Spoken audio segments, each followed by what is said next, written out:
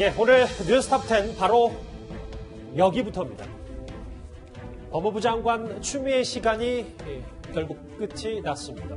장관 임명된 지 391일 만에 이제 자리에서 물러나게 된 추미애 법무부 장관인데요. 오늘 조금 전에 과천 법무부 청사에서 이임식을 열었습니다. 오늘 이임식을 갖고 장관직에서 물러나게 되는 이추 장관. 사실 작년 한 해는 추미애로 시작해서 추미애로 끝이 났다라고 해도 과언은 아닐 겁니다.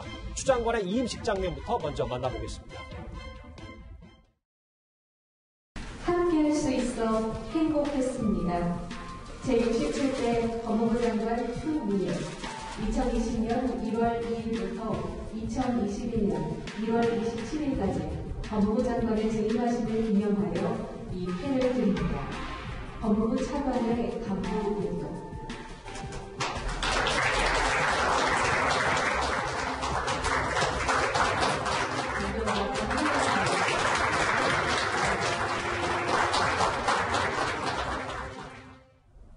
감사패와 꽃다발을 받은 추미애 장관인데요. 그러면 추미애 장관이 이임사에서는 어떤 내용을 언급했는지 좀 더 구체적으로 들어보겠습니다.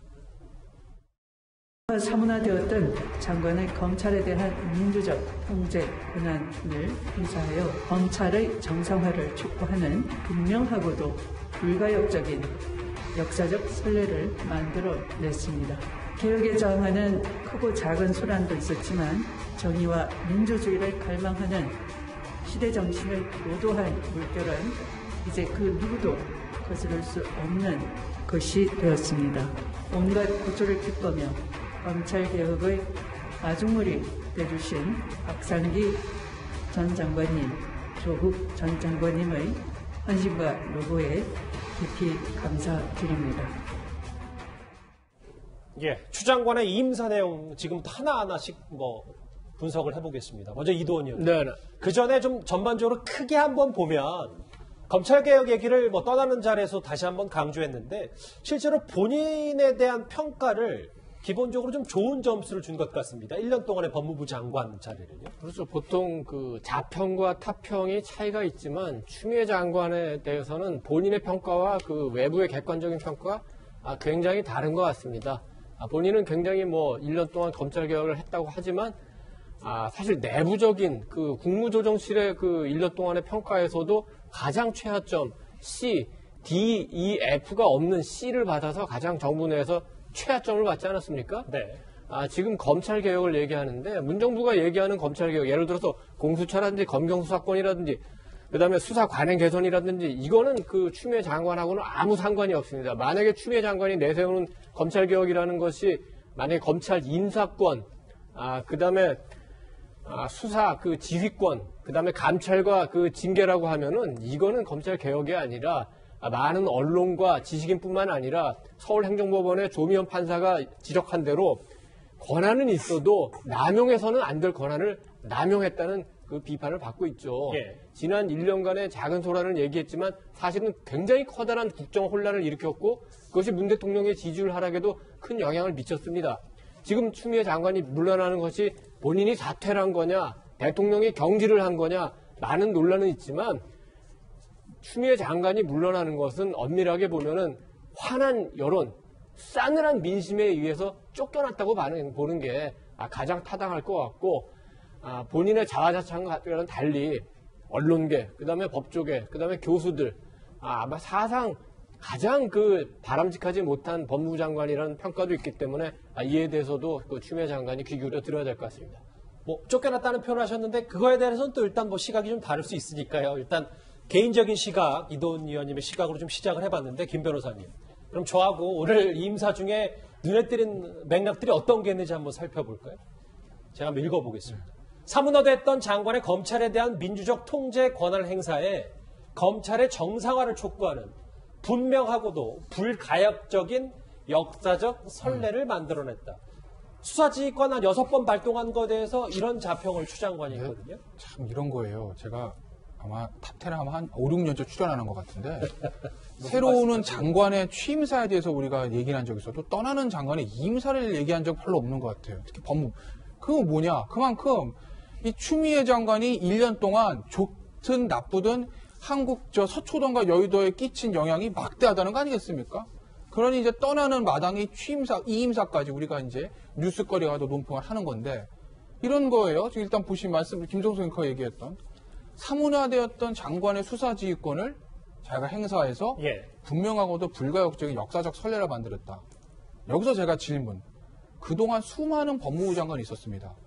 그 사람들은 이 수사지휘권 인- 검찰정법 8조 있는 걸 몰라서 안 썼을까요?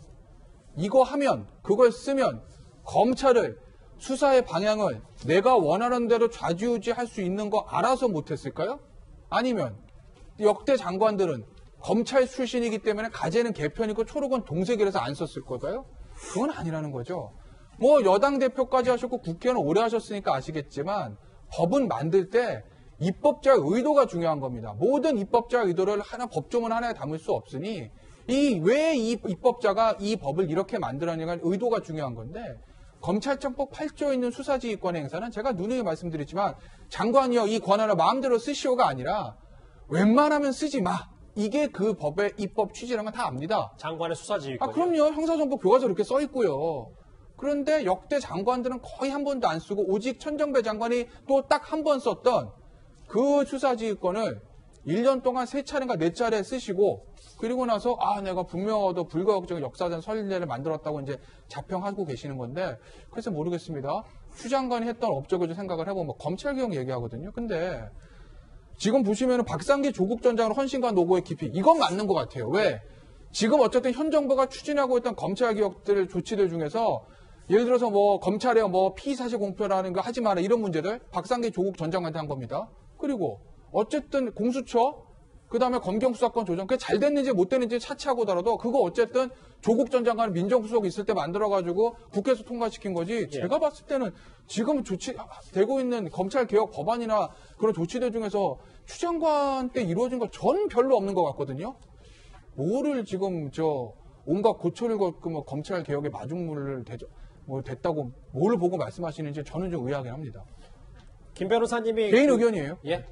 제 개인적인 판단이에요. 아, 뭐, 평가. 예. 뭐 전반적으로 그렇게 생각하셔도 상관없습니다. 네. 알겠습니다. 왜냐하면 그 김주옥 교수님 네.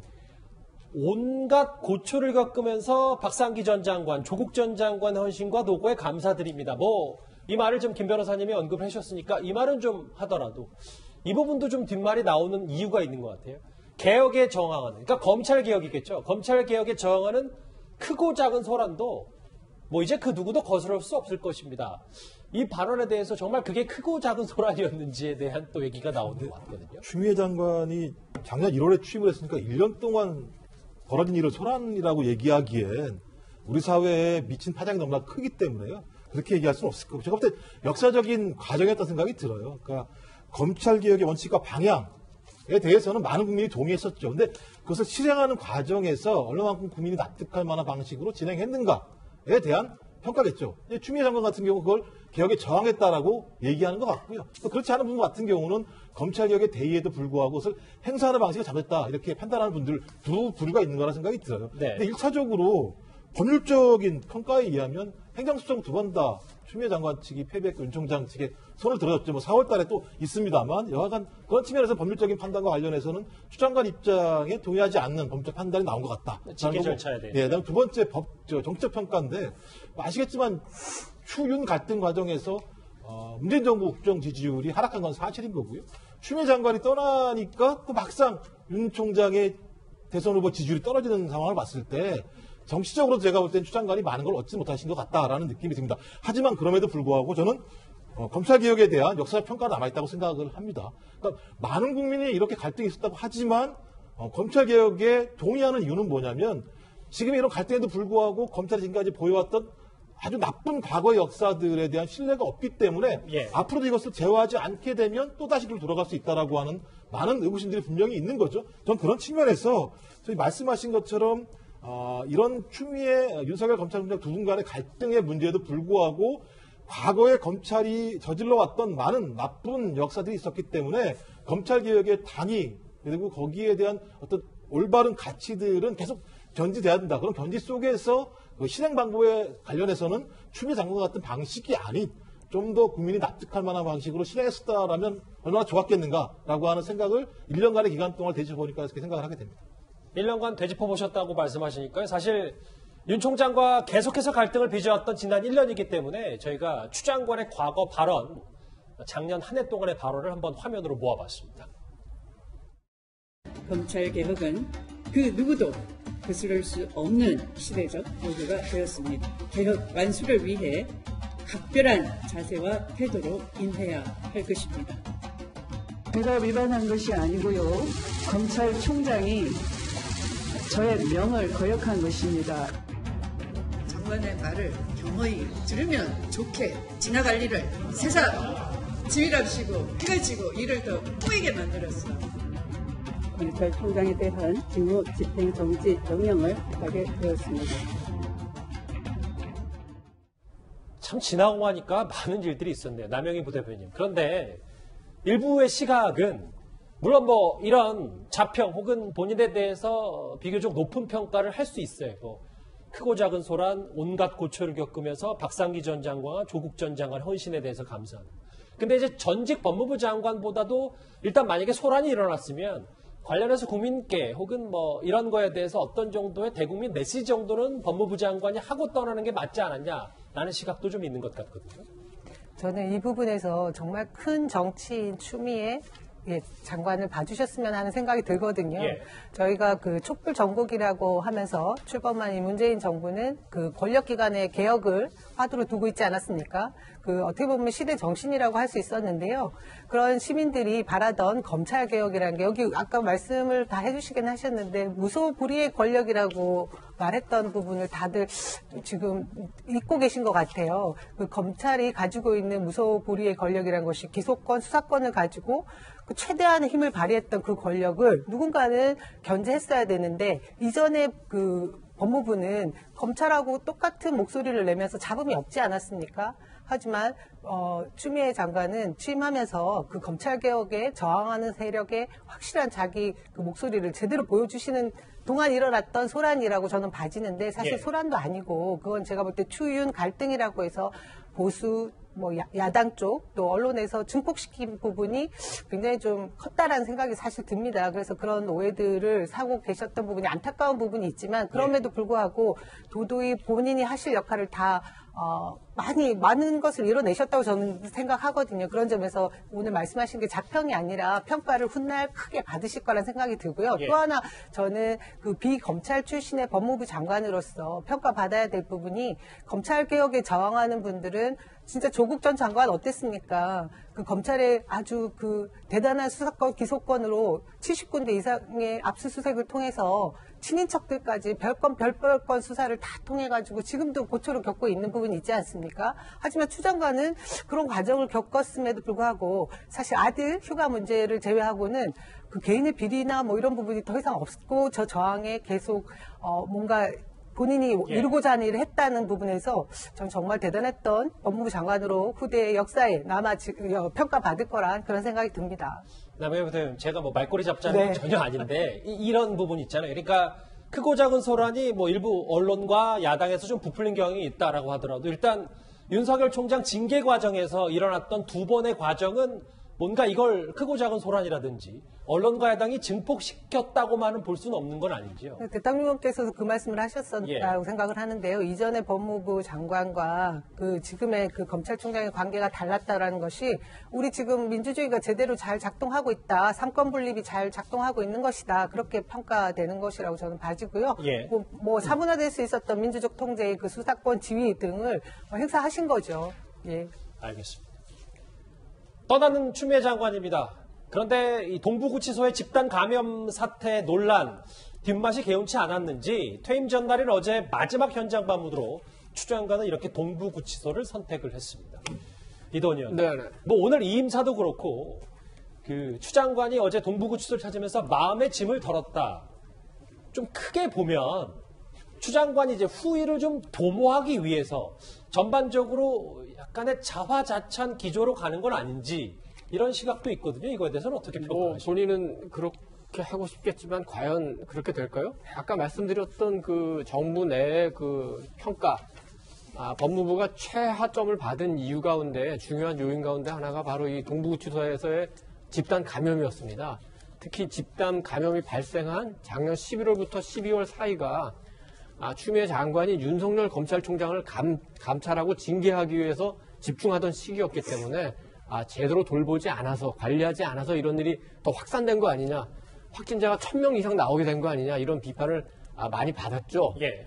아, 그래서 그게 실제로 평가로도 이루어진 거고, 어쨌든 그 오늘 마지막으로 찾아서, 어, 일단 그 어느 정도 그 확산세가 진정이 됐고, 그래서 본인은 조금이나마 뭐 마음의 짐을 덜게 됐다 이렇게 얘기하지만, 실제로 그건 본인은 그렇게 원하겠지만 실제로 그렇게 될까요? 왜냐하면 지금 동부구치소 직원을 포함한 법무부 노조에서 예. 추미애 장관을 동부구치소 이 확산 그 사태와 관련해서 직무유기로 그 고발한 사건이 있습니다. 그거 말고도 여러 건의 그 고소고발 사건이 있습니다. 그렇게 되면은 아, 추미애 장관은 여기서 벗어나고 싶어도 실제로는 벗어나기가 굉장히 어렵고 단순히 이 동부구치소 이 감염 확산 사태뿐만 아니라 아, 추미애 장관이 장관으로서 했던 말과 행동 예. 이거는 앞으로 본인이 무엇을 하든 아, 거기에 따라다니면서 하나의 평가로 작용하게 될 겁니다. 그 평가가 김종욱 교수님 실제로 여기 다음 화면을 좀 볼까요? 왜냐하면 최근에 경향신문과의 인터뷰에서 추 장관이 일단 좀 여유를 많이 가져야 한다. 저에 대한 위로 보듬어줄 생각 시간이 좀 필요하다. 글쎄요, 뭐 오늘 이 음식을 바로 가진 추 장관에게 이런 그 시각을 갖는 게 뭐 적절한지는 논외로 치더라도 본인 앞으로도 좀 뭔가 대권 도전에 대한 희망을 좀 갖고 있다 이렇게 받아들여도 되는 겁니까? 아, 정치인이시잖아요. 정치인이 정치를 접지 않겠다고 얘기를 했었을 때에는 앞으로도 마찬가지지만 본인이 추구하는 정치를 하겠다는 생각이 분명히 있는 거죠. 근데 아까 말씀하신 것처럼 저 개혁에 크고 작은 소란들이 어, 많았었는데 1년 동안 얼마나 많은 일들이 있었겠습니까? 다 아시겠지만 모든 언론의 뉴- 뉴스들이 1년 동안 추미애 장관, 윤석열 검찰총장 두 사람으로 집중되어 있는 상황이었거든요. 아무리 검찰 개혁을 추진하는 것이 옳고 그르고를 떠나서라도 저런 일을 당하게 되면 얼마나 힘들겠습니까? 일단 여유를 많이 가져야겠다. 본인 예. 스스로가 여유를 가야 가져야 한다는 얘기는 뭐냐면 어, 지금 상황에서 본인이 어떤 정치적 행보를 걸을지에 대한 나름대로 고민들을 많이 해야겠다. 뭐 개인적인 힐링도 필요하겠습니다만 또 그리고 이 과정에서 본인 스스로가 검찰 개혁에서 아까 평가한 것처럼 방위를 본인 스스로 자청한 것이 분명히 있고 그 과정에서 상당히 나름대로 팬덤층이 형성된 측면이 분명히 있습니다. 저는 그걸 통해서 본인이 앞으로 추구해야 될 어떤 권력기관에 대한 개혁과 결합되어 있는 정치인 추미애로서의 행보를 거울 거룩한 생각이 드는 거고요. 앞으로 충분히 시간이 있죠. 왜냐하면 민주당 11월 달에 아마 경선이 있을 거라는 어, 예측이 되니까 앞으로도 충분히 10개월 동안의 시간이 분명히 있기 때문에 저는 그 기간 동안에 나름대로 추미애식 정치에 예열을 할 것이고 발동을 걸 것이라는 생각이 드는 거고요. 거기에 대해서 민주당 지지층들이 얼마나 반응할 것인지 이 부분들은 뭐 민주당 지지층들이 판단할 문제입니다만 문제입니다만 본인은 제가 볼 때 그 일을 계속 일관되게 어, 본인이 1년 동안 검찰 개혁을 추진해 왔던 방식과 유사하게 하실 거라는 생각이 들어요. 그런데요. 이 추미애 장관 임기 내내 발목을 잡았던 아들 휴가 의혹이 아직 일단락이 되지 않은 걸까요? 제보자 가운데 하나였던 아들의 섬, 아들 서모 씨의 상사 김모 대위가 군 검찰의 소환 조사를 받고 있는 것으로 알려졌습니다. 이미 추 장관의 아들 서모 씨는 무혐의 처리가 된 상황에서 제보자만 피해를 보고 있다는 논란이 다시 나오고 있습니다. 허용된 범위 내의 어, 정당한 휴가 어, 병가였기 때문에 여- 여기에 무슨 위법 불법이 있을 수 없는 그러니까요. 간단한 사건인데 이걸 크게 키우려고 하고 언론이 가세하고 야당이 이걸 증폭시켜온 아홉 달간의 그런 전말을 생각해 보면 상당히 어처구니 없고 소설이 소설로 네. 끝난 것이 아니고 정말 이건 장편 소설을 쓰려고 했구나. 일단 아들 의혹은 무혐의로 결론이 일단 났다고 하더라도 김 변호사님 화면을 보는 것처럼 아들은 이렇게 처리가 됐는데 제보자는 아직도 군 검찰의 조사를 받고 있다. 이거 저희가 좀 어떻게 해석하면 돼요? 당, 당시에 이제 보니까 이 김모대위가 구두로 승인을 해줬느냐 안 해줬느냐 보면서 그 김모대위 같은 경우에는 동부지검에서 조사받았 지금 화면 보시는 것처럼 나 구두 승인한 적 없어 오케이 안 했어 이건데 당시에 이제 그 현, 현일병이죠 저그 아, 추미애 장관의 아들은 어 나 승인 받았어 전혀 반대된 얘기를 하는 거예요. 그냥 동부지검에서 수사를 받을 때 그 추미애 장관의 아들의 말에 신빙성을 둬서 무혐의 처분한 겁니다. 아들은. 네. 그런데 이제 이 김모대위는 현역 군인이기 때문에 관할이 그리고 그 현역 군인이 이제 군무와 관련된 일이잖아요. 그래서 관할이 군검찰에 있으니까 군검찰로 이첩을 한 겁니다. 근데 군검찰에서 지금 수사를 하고 있는데 다시 혐의가 군무 이탈을 비호한 혐의라는 거예요. 그런데 보세요. 그 실제로 국무 이탈했다는 혐의를 받고 있는 당시 추 장관의 아들은 무혐의인데 네. 그런데 이 대위 사인한 대위는 사인할 수 있는 권한을 그 대위는 국무 이탈을 방, 저 비호한 혐의라는 거죠. 그럼 국무 이탈을 비호한 혐의가 만약 혐의가 있다라고 만약 군검찰을 판단하면 그건 뭐예요? 국무 이탈했다는 얘기잖아요. 예. 그러니 만약에 군 검찰에서 이 결론을 어떻게 내느냐에 따라서 이게 지금 서울 고검에 항고가 들어가가지고 고검에서 지금 다시 들여다보고 있지 않습니까? 이 수사를 거기에 영향을 끼칠 수도 있는 거죠. 그러니까 추 장관이 지금 자리에서 물러났다 안 물러났다 이거와 상관없이 상관없이요. 아들 예. 군 휴가 제때 복귀하지 않은 의혹에 대해서 다시 들여다볼 수 그렇죠. 있다. 그러니까. 지금 어쨌든 이 김모 대위를 군 검찰이 보- 다시 보는 건 맞는 겁니다. 관할이 군 검찰이 있으니까. 근데 군 검찰의 보고 있는 혐의가 군무 이탈을 비호한 혐의다. 군 검찰에서 그게 맞다라고 되면 군무 이탈을 했으니까 비호고 말고가 있는 거 아니겠습니까? 그러면 지금 동부지검의 수사 결과가 반대되는 결과가 나올 수도 있으니 가능성입니다. 서울 고검에서 다시 들여다보고 있는 이 사건의 수사에 영향을 좀 줄 가능성도 없지 않다 이렇게 말씀을 드리는 거죠. 예. 1년 1개월 동안 법무부 자리를 지켰던 추- 법무부 장관 자리를 지켰던 추미애 장관이 오늘 임식을 가졌습니다. 검찰 개혁을 다시 한번 강조했는데요. 이 뉴스가 첫 번째 이슈였습니다. 다음 주제 이번에는 검찰로 가보겠습니다.